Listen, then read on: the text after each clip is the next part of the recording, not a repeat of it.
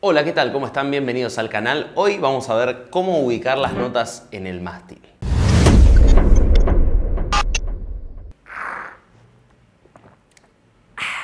Para no tener que memorizar todas las notas del mástil, generalmente la mayoría de las personas saben por lo menos un par de acá arriba. Fa, sol, la, un par de acá y las cuerdas al aire. Entonces, para no tener que memorizar todas las notas, lo que vamos a usar es un sistema de relaciones, de octavas, más que nada.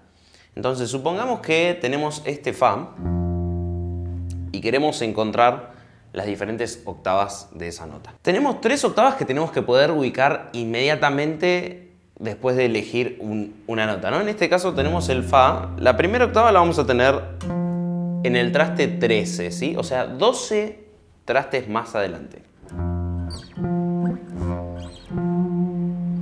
Sabiendo eso, podemos usar el principio de que si tenemos una nota en el traste 5 de una cuerda, la podemos encontrar en la cuerda al aire justo abajo de esa.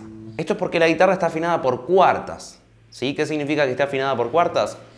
Que si esta, esta cuerda es mi, la próxima cuerda va a ser mi, fa, sol, la. La cuarta. ¿sí? Por eso mi, la, re, sol.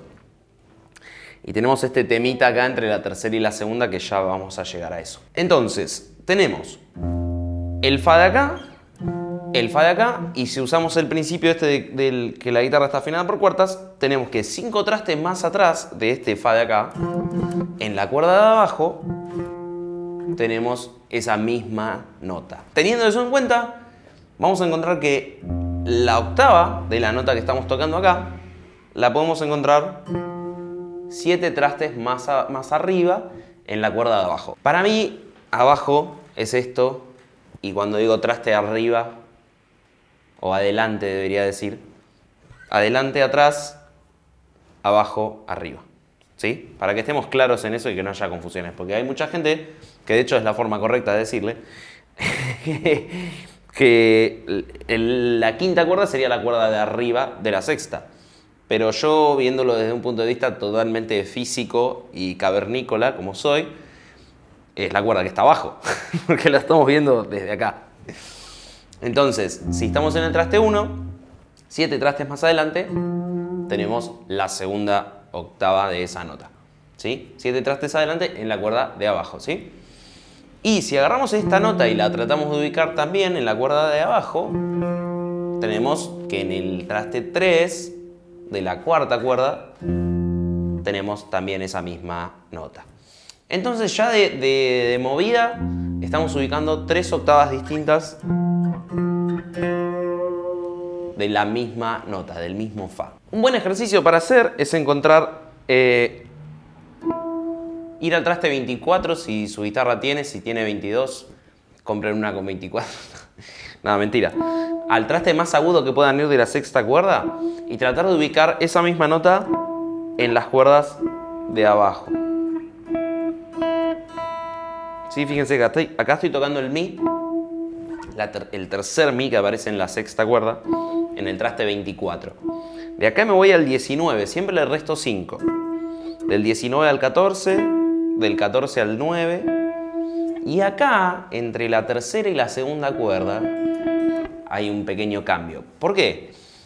Como dije hace un rato, la guitarra está afinada por cuartas, ¿sí? Entonces siempre que toquemos una cuerda, la cuerda de abajo debería ser la cuarta justa. Pero en el caso de la tercera y la segunda cuerda, en afinación estándar, están afinadas por una tercera mayor, cuatro semitonos. Entonces, si queremos encontrar una nota abajo de la tercera cuerda tenemos que ir cuatro trastes para adelante, para atrás, perdón, en vez de cinco. Sí, ahí se van a dar cuenta si la guitarra está desafinada. Y después de la segunda a la primera sigue siendo igual que en todas las otras, cinco. Bien, entonces, ¿cómo nos va a ayudar esto a encontrar las notas? Si por ejemplo, tenemos una nota, nos dicen, bueno, ¿qué estamos acá? Traste 8 de la cuarta cuerda y no sabemos qué nota es. Capaz es más fácil pensar en esta nota como esta de acá arriba. Y si ustedes ya saben que acá hay un La, esto va a ser un La sostenido o un Si bemol, dependiendo de la escala en la que estemos. ¿Sí? Podemos usar esta regla de las octavas en cualquiera de los sentidos, hacia atrás o hacia adelante, para encontrar las notas. Entonces, si estoy acá, digo, uh, ¿qué nota es esta? Ah, La sostenido. Listo.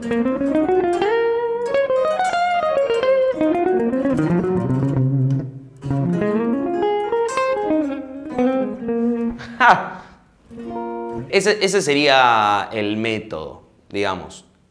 También podríamos haber dicho, de acá me voy 7 para atrás y a la cuerda de arriba, y es efectivamente un si bemol. Ahora, también podemos hacerlo hacia el otro lado, suponiendo que vamos a otra, vamos acá. Traste 6, tercera cuerda. Traste 6, tercera cuerda. O sea, ¿quién toca en ese traste? ¿Vos? La menor pentatónica 1, papá. Aguante la penta 1, vieja. Yo no entiendo para qué hay cinco posiciones de la pentatónica. Si después todos terminan haciendo...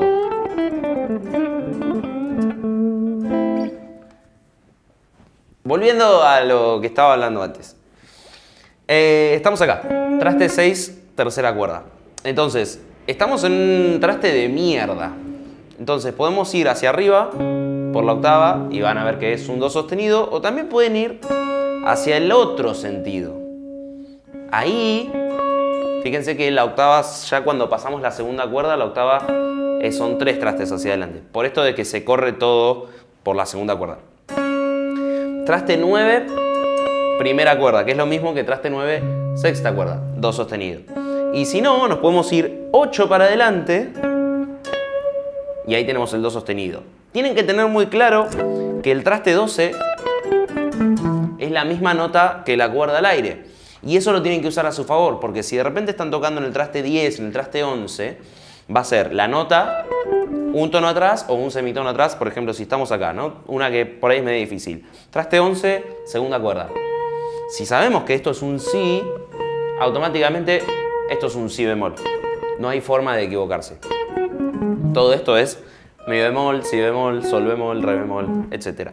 Y acá estamos a un tono atrás. ¿sí? Entonces ahí vamos a tener el re, el la, el fa, etc. Bueno, esos son los tips que tengo para darles hoy eh, acerca de cómo encontrar las notas en el mástil. Si les gustó recuerden compartir el video, darle like, suscribirse al canal y chequen por favor el canal de mi banda Trigonal que vamos a estar subiendo todo el show que hicimos en el Manija Cósmica el viernes pasado. Uy, se me cae la guitarra. Eh, y vamos a estar subiendo nuestro single a partir del mes de agosto. A partir del 20 de agosto, por ahí, va a estar saliendo. Así que vayan preparando las nalgas. Bueno, eso es todo por hoy. No tengo más nada que compartirles. Espero que les haya gustado el video. Nos vemos la próxima. ¡Chao!